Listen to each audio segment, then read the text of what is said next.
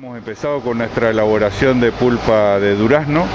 que es nuestro fuerte, que es nuestro principal producto, así que estamos muy expectantes y muy contentos porque de esto vivimos y de esto es lo que sabemos hacer, así que eh,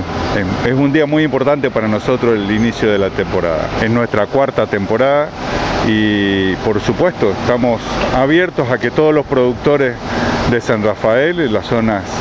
aledañas al departamento, puedan acercar su producción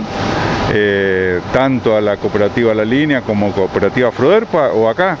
simplemente viniendo a la planta acá Cuadro Nacional que los vamos a recibir y les vamos a dar el mejor tratamiento que esté a nuestro alcance. Gracias, muy amable por, por siempre estar presente con nosotros.